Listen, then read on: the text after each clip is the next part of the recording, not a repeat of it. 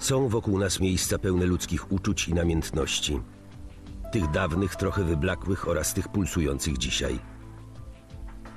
Miejsca czasem naznaczone zbrodnią, która na zawsze pozostawia tam swoje piętno, czyniąc z nich miejsca przeklęte.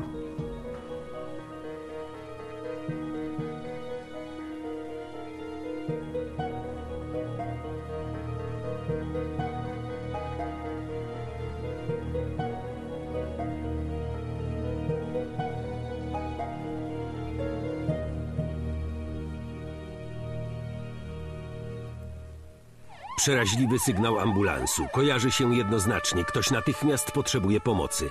Kierowcy wszędzie reagują tak samo. Zjeżdżają na bok, by ustąpić drogi karetce. Nie inaczej było w Łodzi. Ale zapewne żaden z kierowców nie pomyślał wówczas, że oto być może toruje drogę mordercom. W styczniu 2002 roku media zaalarmowały. Pracownicy łódzkiego pogotowia zabijają pacjentów.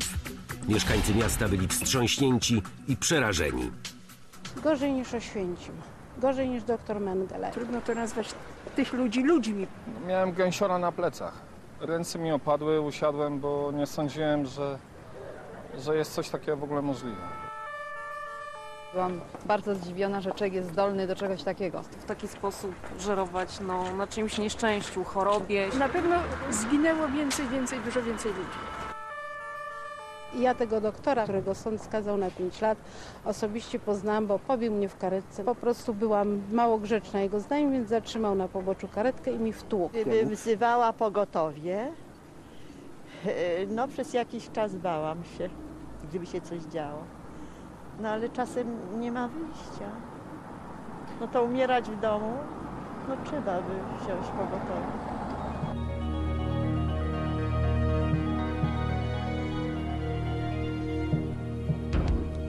Prokuratura udowodniła dwóm sanitariuszom pogotowia popełnienie pięciu morderstw, choć nikt nie wie, ile było ich naprawdę. Mówi się nieoficjalnie, że mogło być takich przypadków dużo, dużo więcej. Śledztwo prowadzone jest nadal. Pierwszy wątek y, to jest kwestia 1800 zgonów, które miały miejsce w latach 1998-2002. Były to zgony pacjentów pogotowia ratunkowego, czyli osób, które wezwały pomocy pogotowia ratunkowego, a także co do tych osób ustalono, że były wręczane korzyści majątkowe pracownikom pogotowia ratunkowego przez pracowników zakładów pogrzebowych za informacje o zgonie. Kwestia udzielenia pomocy medycznej tym osobom jest przedmiotem badania w tym śledztwie. Rzecz jasna, e, ta pomoc medyczna badana jest z punktu wid- widzenia ewentualnego użycia leków zwodczających. Ale także pojawił się nowy wątek, to znaczy wątek e, dotyczący ruchu karetek. Zachodzi bowiem podejrzenie, że był on tak ustawiany, aby karetka przyjechała jak najpóźniej do pacjenta, a nie jak najszybciej. Mnie niepokoi tylko jedna rzecz, mianowicie yy, z naszych yy, przeglądań, z naszych wnikliwych badań wynika, że yy, nie rozliczyliśmy do tej pory kilkaset ampułek pabulomu, między innymi. I, i, i nie jest to do udowodnienia, ale wydaje mi się, że ta, te liczby zgonów mogły oscylować koło takich liczb. Jest 16 stycznia 2001 roku. Wiesław Esz cierpi na ataki depresji. Poza tym jest człowiekiem zdrowym, w pełni sił, cenionym i szanowanym w Łodzi krawcem. Był to człowiek znany, szanowany i ceniony, którego od czasu do czasu, y, którego od czasu do czasu dopadała depresja, w związku z tym konieczne było, przeprowadza, konieczne było przeprowadzenie badań. I ta osoba w sile, w sile wieku, osoba, która nie była osobą y, niedołężną, raptem została pozbawiona w ciągu kilku minut w karetce pogotowia ratunkowego życia. I proszę zrozumieć dramat córek, dramat żony, które do dzisiaj wyrzucają sobie to, że pozwoliły, żeby transportować ich męża i ojca bez ich obecności w tej karetce. Karetka przewozi Wiesława Esz do szpitala. Jak wykazało dochodzenie, sanitariusz Andrzej N. wstrzyknął mu w karetce lek, którego nazwa dotąd budzi w Polsce przerażenie. Pabulon. On już niestety, tu siedząc w mieszkaniu, wiedział, że go uśmierci.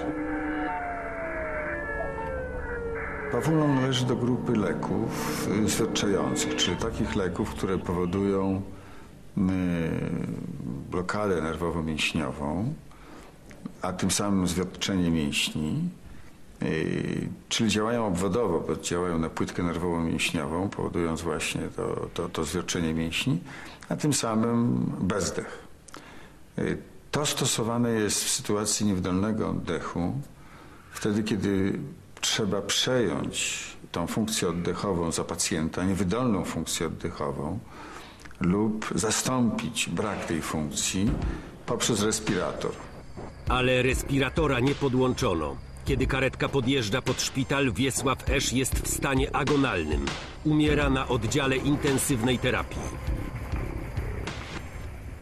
Musimy sobie zdawać sprawę, na czym polega śmierć przy użyciu pawulonu.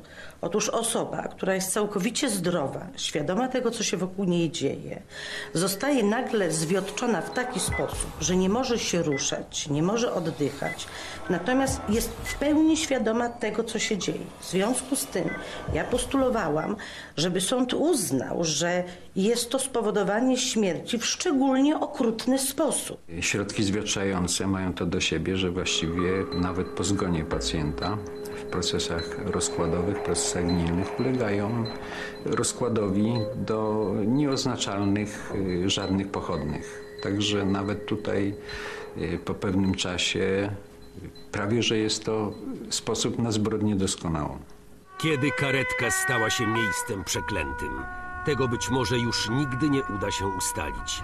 Na początku lat 90. Polska zachłysnęła się możliwościami, jakie stwarzał wolny rynek. Fortuny rosły jak grzyby po deszczu. Powstała giełda papierów wartościowych w Warszawie. W Łodzi, mieście o wspaniałych kapitalistycznych tradycjach, też powstała giełda. Nieoficjalna. Nie handlowano na niej akcjami czy surowcami.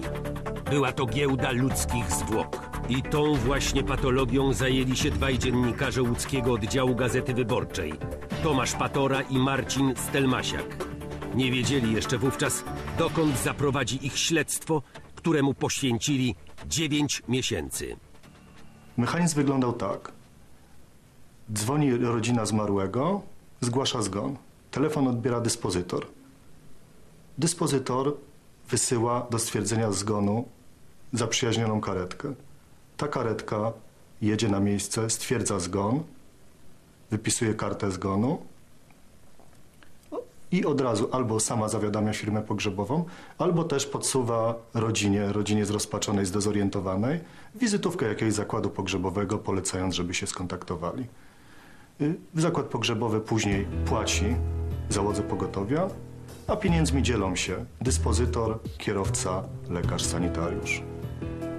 Tak więc początkowo sanitariusze i lekarze byli kimś w rodzaju akwizytorów, a ich nieformalne wynagrodzenie, czyli rodzaj prowizji, zależał od ilości zgonów zgłoszonych do zakładów pogrzebowych. To wyglądało i budowało się przez wiele lat. Zaczynało się to od takich rzeczy no, trywialnych jak wódka na święta, telewizor dla grupy wyczekującej. W końcu ktoś doszedł do, do przekonania, że w zasadzie można z tego zrobić przemysł.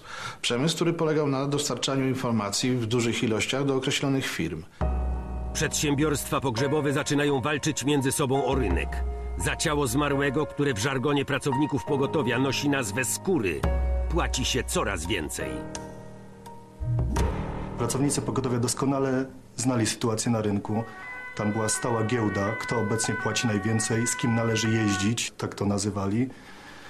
No i w ciągu kilku lat te ceny poszły drastycznie w górę. O ile na początku lat 90. to było kilkadziesiąt złotych, 100 złotych, 200 złotych, po kilku latach za jedno ciało płacono już nawet 1600-2000 złotych. Przez pogotowie przechodzą coraz większe kwoty nieopodatkowanych pieniędzy. Przypuszcza się, że mogło to być nawet kilka milionów dolarów rocznie. Powstaje nieoficjalna czarna księgowość, którą prowadzi jeden z dyspozytorów pogotowia. Karta zgonu była jednocześnie kartą płatniczą zespołów. Yy, Dochodziło do pewnych form szantażu. Jeszcze w, yy, w pewien czas po rozpoczęciu tutaj przez nas urzędowania przychodziły skargi ludzi, że y, pogotowie uzależniało wystawianie karty zgonu od wezwania takiej czy nie innej firmy pogrzebowej. Kiedy dziennikarze prowadzą swoje śledztwo, Dostawaliśmy na przykład sygnały, że do ciężko chorego, umierającego człowieka karetka jechała kilkadziesiąt minut, choć powinna dojechać w 2-3 minuty. latem 2001 roku w łódzkim pogotowiu następuje zmiana na stanowisku kierownika nadzoru medycznego.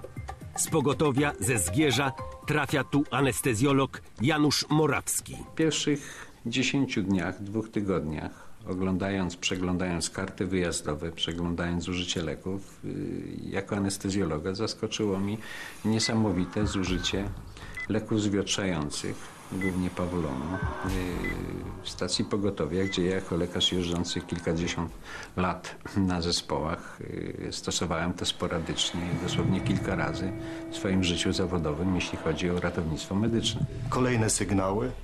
Karetki wyjeżdżały do stwierdzania zgonów, gdy w tym czasie, w samym czasie na pomoc oczekiwali umierający ludzie. Zaczęliśmy badać, czy aby na pewno tak było, dlaczego tak było. Nasze podejrzenia zaczęły się potwierdzać. W pogotowiu ten mechanizm ciągłego pościgu za skórami doprowadził do tego, że niektóre jednostki zaczęły sobie kombinować, co się bardziej opłaca. Jechać do umierającego człowieka i mu pomóc, czy też jechać może troszkę wolniej, może nie zdążymy, będzie okazja, żeby sprzedać ciało. Trudno normalnemu człowiekowi uwierzyć w coś takiego, więc bardzo ostrożnie na początku traktowaliśmy te wszystkie podejrzenia. Jednakże takich sygnałów spływało coraz więcej, były one coraz lepiej udokumentowane. Y, A potem, no, a potem już były pierwsze sygnały o tym, że mogło dochodzić nie tylko do nieudzielania pomocy, ale także do zabójstw. 29 stycznia 2001 roku. Drugi z sanitariuszy oprawców, Karol B., wiezie kobietę do szpitala na oddział dermatologiczny. Sięga po ampułkę pawulonu. Robi zastrzyk. Śpieszy się. Do zakładu pogrzebowego dzwoni, kiedy kobieta jeszcze żyje. Lekarz Paweł W. nie próbuje ratować umierającej. To nie byli psychopaci, oświadczyła jedna z osób, która zna skazanych. Motorem, który pchnął ich do zabijania, była kasa, dodaje. Brali pieniądze od przedsiębiorców pogrzebowych zaliczkowo. Kiedy przychodziło do rozliczenia, okazywało się, że zwłok jest za mało, więc przestali być wyłącznie akwizytorami. Zamienili się w morderców. Podobno instrukcji, jak skutecznie zabijać, udzielał im jeden z lekarzy. Przy bliższych y, kontroli, przy wnikliwszej analizie zorientowałem się, że również w dziwny sposób wypływają duże ilości drugiego środka zwietrzającego, mianowicie chlorsucynylocholiny oraz pewnej ilości chlorku potasu, który w zasadzie w warunkach pogotowia bez możliwości oznaczenia y, rzeczywistego, aktualnego stężenia w surowicy nie ma sensu podawać i wręcz można pacjentowi zaszkodzić, a nawet doprowadzić do śmierci.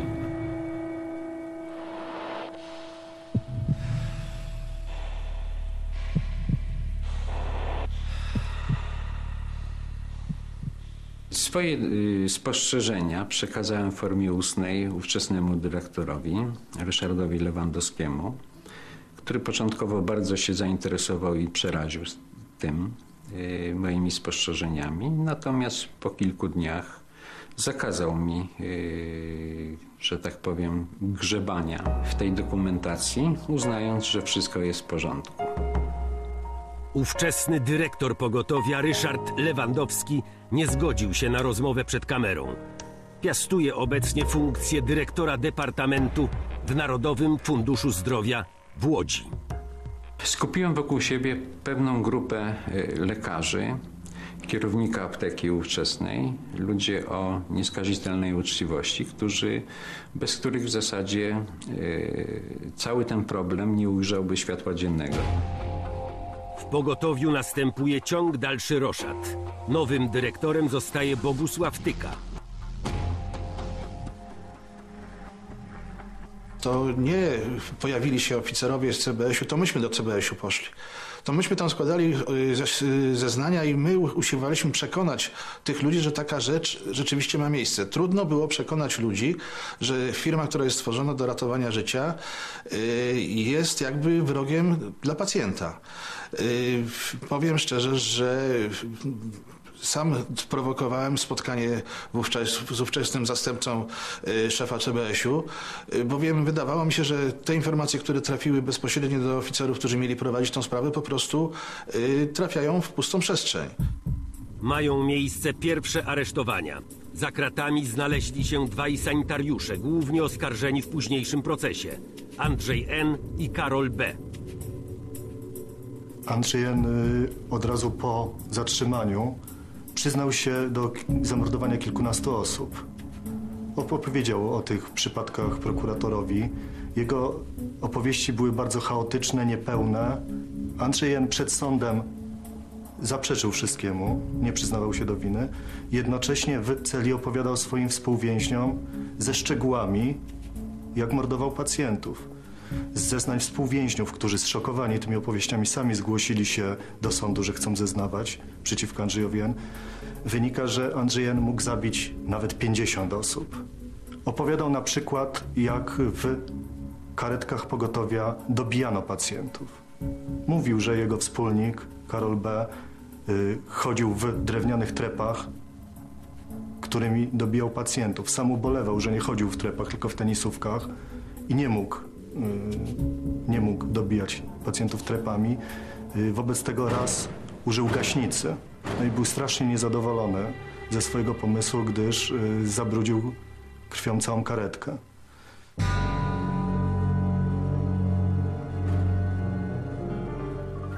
I, to jest przerażające, że w to zostali też zamieszani i w tym brali udział w procederze lekarze, co jest w ogóle, wydaje mi się, swojego rodzaju bankructwem każdej idei przestrzegania etyki i przysięgi Hipokratesa.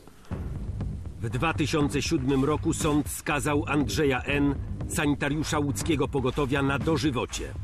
Karol B., również sanitariusz, otrzymał wyrok 25 lat pozbawienia wolności. Skazani zostali także lekarze. Janusz K. na lat 6 więzienia, Paweł W. na 5. W czterech ścianach blaszanej karetki spotykają się nadzieja pacjenta, zaufanie rodziny, potrzeba pomocy, ja wiem, z bezwzględnym działaniem agenta ciemności, no, ubranego w strój sanitariusza.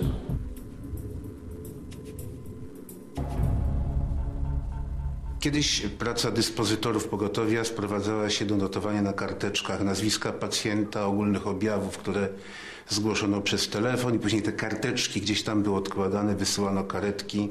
Wystarczyło, że karteczki się pomyliły i już kolejność mogła być inna i mogła wpłynąć również na szanse pacjenta. Obecnie system elektroniczny eliminuje tego typu sytuacje. Tak naprawdę w chwili, kiedy dyspozytor radiolinii podnosi słuchawkę telefonu i usłyszymy takie sakramentalne pogotowie ratunkowe, słucham, zaczyna system funkcjonować. Na serwerach, potężnych serwerach zapisywane są wszystkie zdarzenia od momentu podniesienia tej słuchawki. Dodatkowym narzędziem wspomagającym jest system monitorowania i pozycjonowania naszych karetek. Gdyby dzisiaj doszło do sprawy sądowej, byłoby podejrzenie, że nie udzielono komuś pomocy, stała się krzywda z tego tytułu, że zbyt późno dotarła karetka, możemy odtworzyć przebieg zdarzeń tak naprawdę sekundę po sekundzie. Obecnie łódzkie pogotowie jest prawdopodobnie najostrzej monitorowanym pogotowiem w naszym kraju. Świadectwa zgonu wystawia koroner. Afera w łódzkim pogotowiu, która została ujawniona, była pewną częścią zjawiska, które miało miejsce i zdarzyło się nie tylko w naszym mieście, ale w innych miastach naszego kraju. Stacje pogotowia ratunkowego miały podpisywane umowy sz- z firmami, które e, jak, w jakiś sposób zajmowały się zwłokami pacjentów, którzy mieli to nieszczęście i umarli w pogotowiu. E, Tego nikt nie, nie monitorował, tego nikt nie pilnował. Nikt z Krajowej Izby Przedsiębiorców Pogrzebowych nie chciał rozmawiać na temat afery w łódzkim pogotowiu. Żonie Wiesława Esz, uśmierconego pawulonem, sąd przyznał odszkodowanie w wysokości 40 tysięcy złotych. że ta kwota jest kwotą symboliczną, jest kwotą dla mnie żałosną. W ostatnim okresie bardzo złe notowania ma wymiar sprawiedliwości, sędziowie, prokuratorzy, również i adwokaci. Dlaczego? Dlatego, że my jesteśmy bezradni wobec chyba ahumanitarnego traktowania ludzi przez nasze sądy. Bo na pewno pieniądz nie jest w stanie tego wszystkiego zatrzeć, ale w jaki sposób to kompensuje? I jeszcze jedna rzecz. Tak naprawdę do chwili obecnej nikt tym osobom nie powiedział przepraszam. A reprezentując osoby pokrzywdzone w sądzie, wiem, jak ogromne znaczenie ma fakt, że ktoś przyzna się do winy, że ktoś potrafi im wyrazić swoją skruchę, mm, swój, y, powiedzieć, że coś było źle i za takie zdarzenia te osoby są przepraszane. Aferę tą y, nagłośniły, pokazały ją media, a nie jest rolą mediów w naszym państwie, żeby zastępowały prokuraturę czy policję i jestem głęboko przekonany, że te działania kontrolujące system ochrony zdrowia czy y, pogotowie powinny były być jednak nie rozpoczęte przez y, gazety czy przez stacje telewizyjne czy, czy radio, lecz przez właściwe organa państwa. To nie nastąpiło i myślę, że w takiej sytuacji my powinniśmy sobie zadać pytanie i to pytanie zupełnie uzasadnione. Ile tego typu rzeczy, o których nie wiedzą media, o których nie mówi się, może jeszcze w naszym kraju trwać, a organy ścigania o nich nie wiedzą i niestety nie podejmowane są działania operacyjne, żeby je wyjaśnić.